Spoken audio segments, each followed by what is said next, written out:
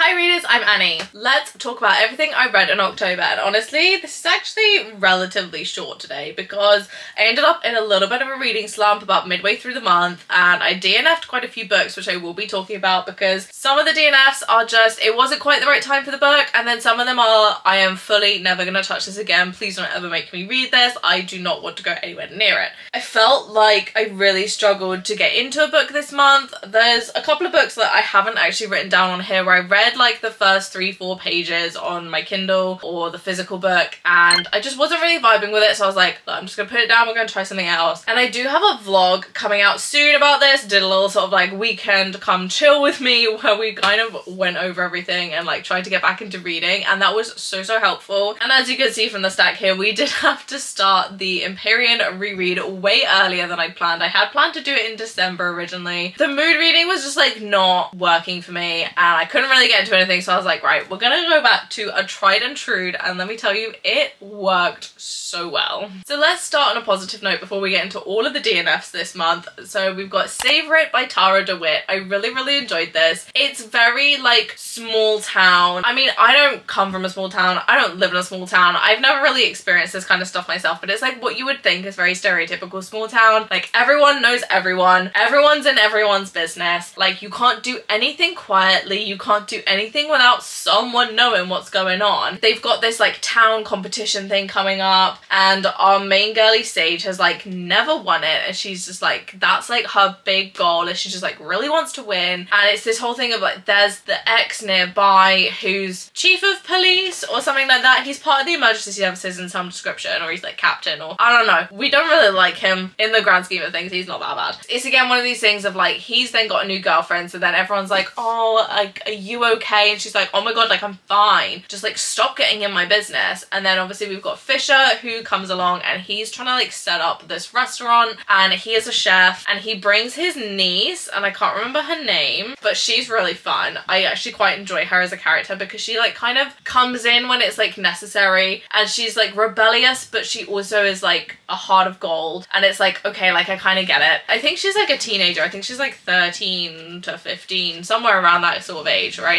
She's like capable of like doing stuff on her own. She doesn't need like a parent hovering around her at all times. The last few books that I've read that have had like kids kids in them like have really not hit for me. So I really quite liked her as a character. Just like all the little bits. Like it was just like it's a book full of little pieces of a puzzle and it's like the little moments that they have and like these little interactions and like the implication and like how all these little things build up into this big thing that becomes their relationship and that's what I really really love. And also because with Fisher being a chef he's kind of a disgraced chef. He's come out to kind of like rebuild his reputation rebuild his confidence in the kitchen that kind of thing. And like I really really love it because it's not just like oh yeah he's a chef and he does chef things like there's so many like foodie bits in here and I was like thank you so much for giving this to me. Because there's times where he's like testing out different recipes and he's like trying to work things out and Sage has got like a greenhouse and she like grows like different vegetables and fruits and things and he like takes some bits from her and makes recipes out of it and tries to like recreate it with store-bought stuff because that's obviously easier for a restaurant. He's like it's just not the same. And she's like oh it's a slightly different fruit actually. Like it's just slightly different and so like then they're kind of educating each other and like there's so many foodie bits in this that this was just like perfect. And it's not particularly autumn or fall coded. I feel like it's a little bit more summery. The cover kind of disagrees on the summer vibes but I think it's a little bit more summery than autumn. It's just like cozy and cute and like you could totally curl up with a hot chocolate and a blanket with this at the same time as you could totally take this to the beach and read it and have a really amazing experience regardless. Let's talk about the DNFs really quickly. I'm gonna spin through most of them because they're yeah we didn't finish them so it's not really a huge amount to talk to. But Haunting Adeline by H.D. Carlton. This is technically the second time that I have tried to read this and I did a whole reading blog on it. If you want to see that, go check out the link below. I did quit at 35% because my mental health is more important than a book and I do kind of talk a little bit about mental health stuff in that video. There is a lot of triggers with this book. There is a lot of things that are just like, for want of a better word, kind of messed up about this book and I don't feel like that's necessarily a secret. It's a stalker romance but he's like it just even like trying to recall the story like i just can't mentally work out why people like him as a character. And that could be just me. And if you like this book amazing great for you. This is the second time i tried to read it. I think last time i got to about 40 odd percent. This time i only got to 35 and i just can't do it. And i'm putting it down. It is to be one of those mysteries in my life that i don't think i will ever work out this book or why people like it. It's just to forever stay a mystery. And you know what? I have come to accept that. You have no idea how many times in all of these kind of videos that I forget about my tea. So I refuse to forget about it today because it's far too cold to be without cups of tea. So the next DNF we have, surprisingly, is a Rick Riordan book. And okay, let me justify this before anyone gets mad at me super quickly. This is a soft DNF. It's nothing to do with the book. It's literally because this was what I was reading when I was in that reading slump. And it's cute. It's a fun time. Like it's so autumn coded. Like it, this is Halloween. Like they're over Halloween weekend. They're looking after Hecate's pets and then they they get loose and they're trying to like find them around New York City and this that, and the other. And I got to page what was it? Page 126 so I'm like kind of a third through, roughly, give or take. I can't, I don't really know. So Percy is pet sitting because he needs recommendation letters to get into university. Now, he, he obviously takes Annabeth and Grover with him because, you know, what would we be without our main three? There was just something about this that, like, I think it was more because I was in a reading slump that I was like, it's just not the vibe. It's just not for right now. I fully intend to finish it. I'm leaving my full regular bookmark in here and I will be finishing it before the end of the year because I do really love this story. I love our main three. Like it's really cute, fun, cozy times. Like it's the typical chaos and mayhem that you would expect from Percy, Annabeth and Grover. It's a whole book about chaos. Because I've been slowly working my way through a Rick Riordan reread this year, like you really see like how they've grown up and how the sarcasm just like hits a little bit better now that they're like 16, 17. The sarcasm has grown over the years and I really, really love it. It's just, it was just not quite the right time for this book, so I will be coming back to this. Then we've got A Kingdom of Bitter Magic by Alea Wells. I DNF'd this at 19%. I really did not get particularly far through this and honestly, it just, it felt like there was maybe a a prequel that I missed and I did check for a prequel and I couldn't see one so unless I'm just like looking at the wrong thing.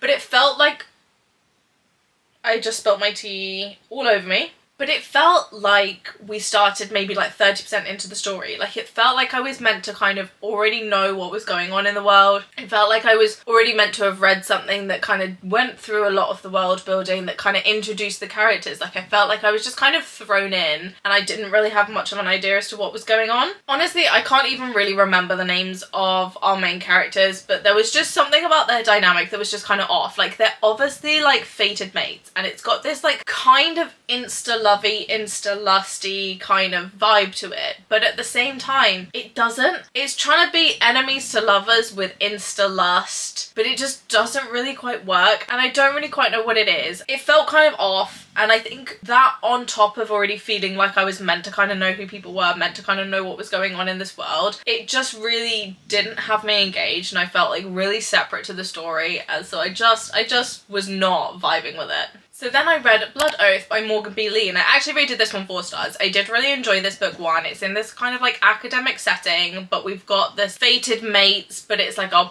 poly situation, like multiple guys to this one girl, but like not every group is set up in the same way. So you've got essentially like at least one person from every school of magic. So you've got like a shifter, fae, an elemental, and then like a like a demon. I think I think the guy in the group is an incubus. So he's kind of like demony, shadowy, and like it was great. And I actually really liked the dynamics with everyone and it was it was pretty cool. And our main girl is like this like secret undercover assassin. So I was like okay like sure fine. Let's let's roll with it. Let's roll with it. And she like kind of tries to come off as this like you know needs protecting but she's like I don't want your protection but like I'm just gonna like keep my head down stay in the shadows like be unnoticed. Like I'm just gonna like keep my head down stay in the shadows be unnoticed. No one's gonna like look at me. No one's gonna think twice about me. But like I need to do my assassin stuff so I need to have this like kind of demure outset so that everyone just goes, oh, shut her, like whatever, and like no one questions twice. Really understood that side of her character, and then like as you start to see like a little bit more of like the assassin stuff come out, she kind of like starts to be like, okay, like I've actually got stuff to do, and actually I'm I like I know how to fight, and I know how to look after myself, myself. I know how to take care of myself. I was like, yes, you are quite fun. It felt somewhat similar in some of the mannerisms to like other characters that we've read along sort of similar lines, but at the same time, it wasn't like, oh, this is just a carbon copy of someone else's character. Like she still felt very unique to herself, which I did really like. And I liked the dynamic with all of them because the guys have like had this like childhood rivalry that they've kind of grown up with. They've all grown up in like families that are like very interconnected because they're all super powerful, of course. They all kind of like grew up knowing each other and then they've had this like rivalry and then they kind of turn this rivalry into a little bit of a game to kind of like warm her up to them and they're like, oh, like the first person that she like gets with wins something from all the other people. So like wins access to like the family archives was one of them or just like things like that. And it's like you kind of get it because it's like, okay, that's like a very guys guy thing. But at the same time, as a girl's girl, I'm like, ew, no, this is awful. But it kind of worked with the story and it was it was kind of the main source of conflict. I won't lie to you. I know that's kind of a spoiler, but like it was the main source of conflict. You can see it coming from a mile out. As soon as that you see this animosity, you're like, that's gonna be this main source of conflict. And as soon as you hear about this bet, you're like, yeah, no, there we go. She's gonna find out some way or another. And of course she does. And I didn't even hate it particularly. So I rated that one four stars and I was like, yeah, I'm just gonna like keep going with the series. It's a nice little trilogy. Like, yeah, I can roll with this. And and then book two came and I was like, what is going on? Like, what is this? I mean, I got to 38%, so I gave it like a really good read. But book two, like I literally felt like I had a Miranda Priestly moment where I was like, move at a glacial pace, you know how that thrills me. Even though they kind of like start to figure out her secret and figure out like who she is, and then they're like, oh, we're just gonna make ourselves like really indispensable to her and we're just gonna like be these cinnamon rolls, which is kind of what I liked about them in book one. It just didn't really work and I don't really quite know what changed between book one and book two apart from it just like really wasn't going anywhere. Like the school was like kind of on lockdown so then that was kind of like her main source of conflict to be able to like complete her mission or whatever. The guys are just like, we're just gonna stick to you like glue. And then she's like, well this is inconvenient. And it's like, okay, but like, is this it? I feel like I needed more from it and I wasn't really getting that. So it just, it really fell flat the second book which I was kind of sad about because I did really enjoy book one. And then that kind of like re-put me back into this reading slump. Then I read A Court of the Vampire Queen by Katee Robert which is technically a set of three that has been bound into one book. And it was only like 300 odd pages on my Kindle. So it's not like each of the individual ones is particularly big. And I read essentially the first book in it and I was like yeah okay. Like this is alright. Like I could I could I could roll with this. Like I would probably would have rated it like maybe like a three star, you know, if it was like as an individual because I was like, okay, like yeah, fine. Like you've got this one girl, three guys, they're all like vampires. The head bloodline, they kind of rule the roost, right? There's like a couple of bloodlines and they're like the most powerful in their bloodline. Then you've got like turn vampires. The whole like point of like the first bit is one of them is in this house that's then like warded. He can't leave so then they're trying to break the wards but then it's like, it's a spicy book. Like if you just want something that's just gonna like scratch that itch, like it's a good book. The problem I had was the first two guys, I don't even remember their names apart from the one I didn't like. I don't remember the names of the two that I liked, but I remember the name of the one I didn't like. But the first two, like one of them was like full cinnamon roll. Second one was like, looks like would kill you is a cinnamon roll. And the last guy was just like, would kill you, right? He's just like not here for it. He doesn't want anything to do with it. He's like, I'm literally only touching you in any kind of description because my buddy kind of needs to do this with you to like break the ward around his house so that he can get out of Dodge. So he's like, I'm only doing this as a, like essentially like a business transaction. And he has like zero interest in her. He makes her feel really bad about herself. He's like not even, it's not even like rude where it's like, you're kind of rude, but like, okay. It's just like straight rude and I'm like, um, pack in that attitude. Not really here for it. I think it's almost amplified because you've got two cinnamon rolls as well. And I'm like, it just kind of amplifies the fact that he's got a bad attitude. And I'm like, I don't care for your attitude, sir. You can take it out the door and leave forever. I don't want it. So when I started reading like the second book, I was like, no, I'm done. I can't do this like his bad attitude just like thrown in your face in that second segment, that second part. Rylan is a hard no for me. The first sentence I wrote in my bullet journal is what is wrong with the books this month? And then I said, Rylan the Ice King, I don't know, something about him kills it for everyone. I can't focus on the others as his toxicity is just so overwhelming. And I feel like that just describes everything that I need it to. And yeah, I didn't this at 36%. I read part one, enjoyed part one. Part two came and I was like, nah, I, I'm done. So let's go back to the start of the month where I actually was having like a really good reading moment and one of those books was House of Roots and Ruin by Erin A. Craig and I feel like I'm such an Erin A. Craig stan like I feel like there's nothing that she's gonna ever write that I'm gonna like dislike truly. This was another masterpiece from Erin like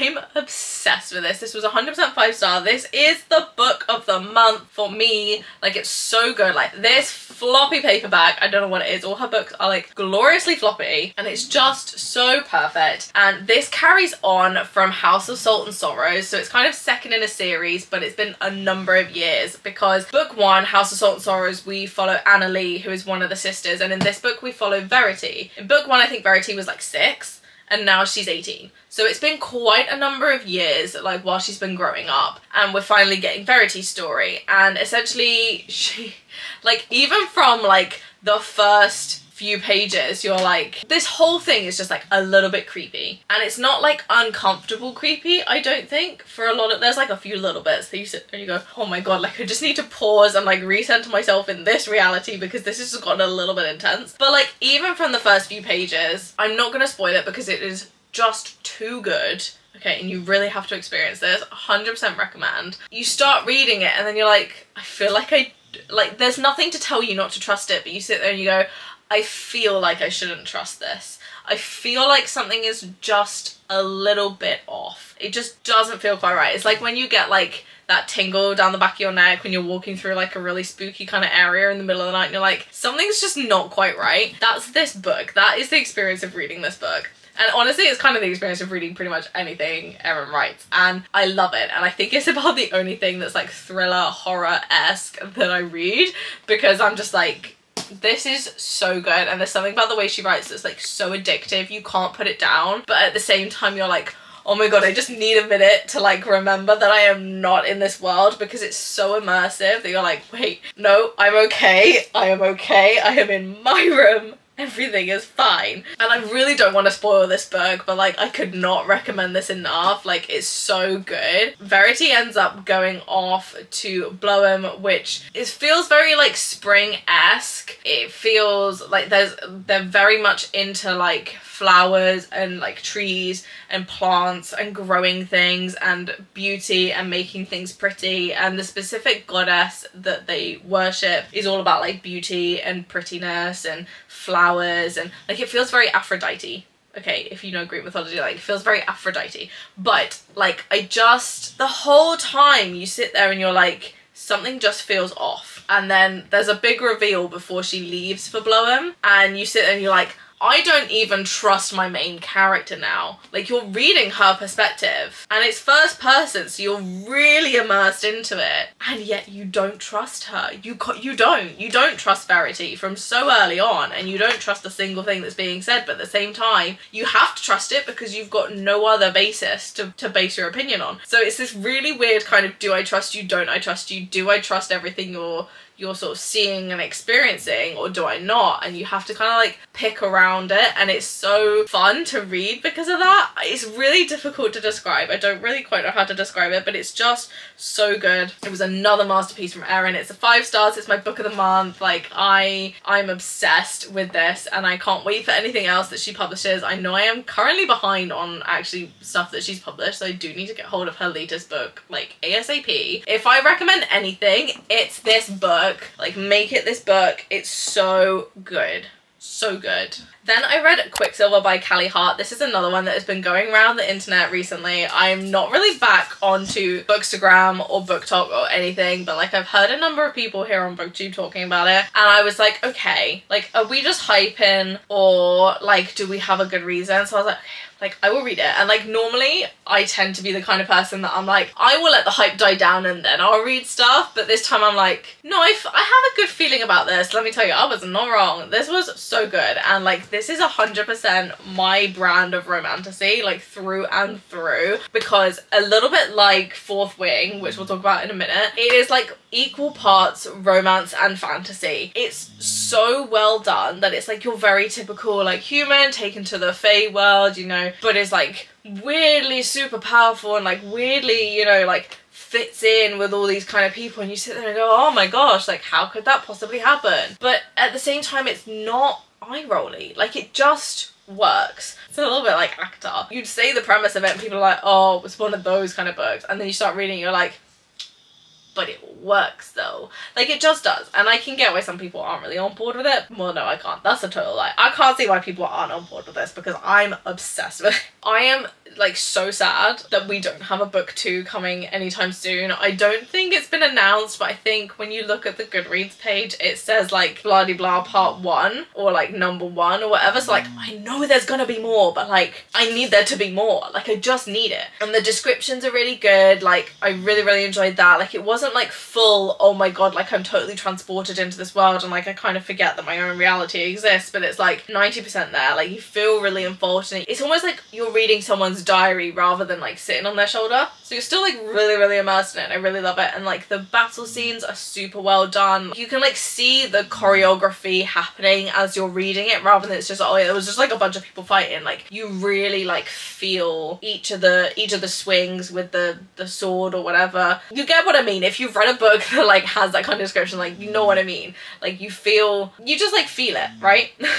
I feel that's a very subjective line, but you know what I'm saying. And again, this is another one that I kind of don't really want to spoil. I feel like there's a lot of people that kind of have been giving spoilers and I don't really want to be one of them because I really hate spoilers. There's so many intricate parts of the world building and you don't find them out all at the very beginning, which again is something I really, really like and I that's not a secret, right? But just finding out certain bits like later on when it's like you're in this like super intense moment and then it's like it stays super intense but then you find out this bit of world building and it's just it's not like a lore dump it's like you find it out at the same time as the main character is finding this out and it's just like so perfectly integrated with the world building and the story like together because they are kind of the same thing and it's like beautifully done and I really really love it and I'm like I need more of this right now. Where is the second book? Someone please give it to me because I might self-combust if I don't get it soon. Then we've got Daydream by Hannah Grace. This was the book that like actually got me out the reading slump and this is the book that I was reading in that vlog that I'm telling you guys about so like do go check out that vlog when it comes out. Subscribe and ring the notification bell down below so you know when that releases. Mm, spoiler it will be on Sunday at 11:30 British time because that is just when I set everything to post. Okay if you didn't know you do now. I don't know I was a little bit nervous to pick this up because I really thought I was in like a fantasy mood but then as we've seen through the amount of DNFs I've had this month and the way that they've all been like fantasy romantasy type things I was like okay fine. Maybe I do just need to like switch it up which is honestly like the best piece of advice I can give you if you are in a book slump as well is like just switch it up a little bit. Like I knew I needed a romance story because when do I not need a romance story? Something about the fantasy aspect was just like not really working even though I was convinced that was the mood I was in. So I was like, no, we'll just pick this up because I was convinced one of my friends had read it, which actually she hasn't read it. So I'm like, you need to read this because I thought I could talk to you about this and now I can't. So I'm like desperately waiting for her to finish so I could talk to her about it. This saved me from my reading slump, honestly. I absolutely love Hallie and Henry. They are like my favorite. Like Henry was my favorite in book one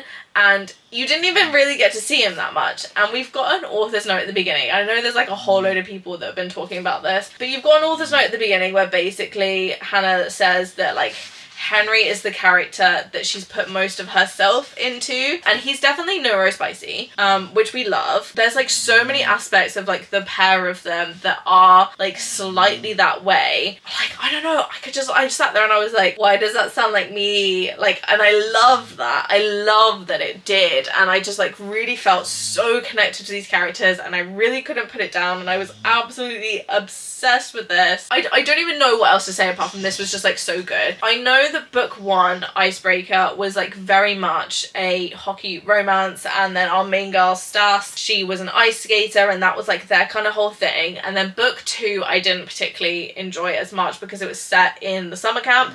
And we do see Rory and Russ in this and they do reference the summer camp a little bit. So like, yeah, okay, I'm like, okay, it makes sense. And it all like kind of adds up because obviously this is the third in the series. And even though this didn't really have that much hockey in it, it was more about them as a pair and actually it had a little bit more of like their schoolwork kind of stuff in it like because their their kind of main connection is the fact that he needs help with one of his classes and she's like mm. oh I will happily help because she's a people pleaser. Hello very Annie. They just they really go together so well and they complement each other so beautifully and I think that was like more the focus of this book rather than the fact that like he's the captain of the hockey team and like they're going to like hockey games and stuff because she has a bad experience with an ex who was also a hockey player so that kind of then feeds into a little bit of certain things. And I think the biggest thing that I loved about this and it's a tiny bit of a spoiler so if you don't want a spoiler do just like skip forward a little minute but the fact that they take time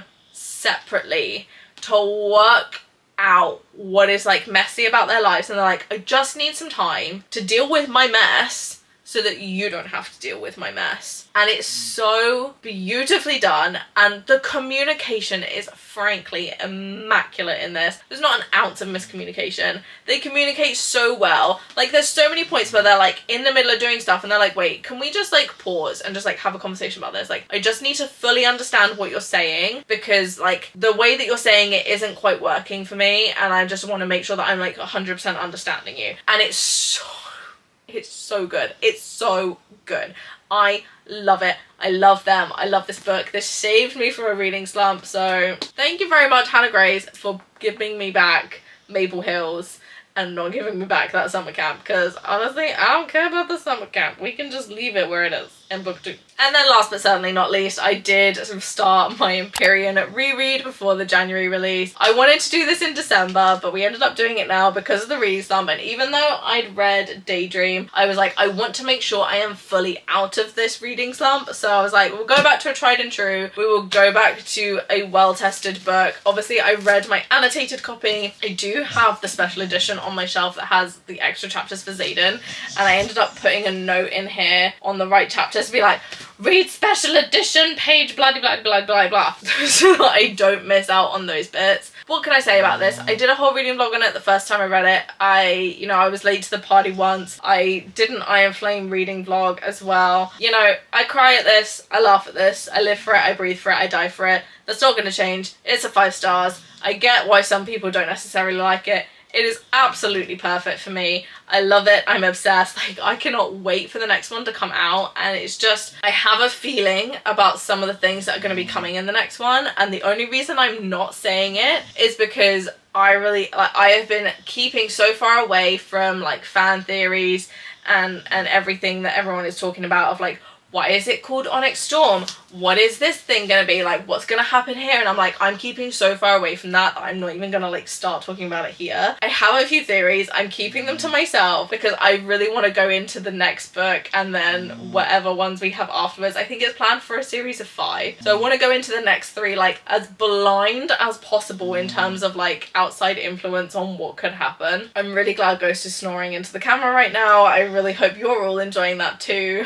But I am so excited to continue this series. So yeah, I started my reread a little bit early, but it's not the end of the world in the grand scheme of things. Okay, okay guys, so this is everything I read in October as well as everything I did not read in October. It literally was a month, I feel like, of two halves because we had some amazing reads, None of these were below a four star and then I just had a load of DNFs. I don't really quite know what was going on. I feel a lot better about my reading now in November so that is going really well at the moment and I hope it stays that way because the reading goal this year is like so much larger than last year and I'm quite confident that I will hit my reading goal considering I've already extended it once. But at the same time, like I don't have time for all these DNFs. Like I was really worried in the middle of October that I was not going to hit my reading goal because I was like, why am I DNFing so many books? What is going on?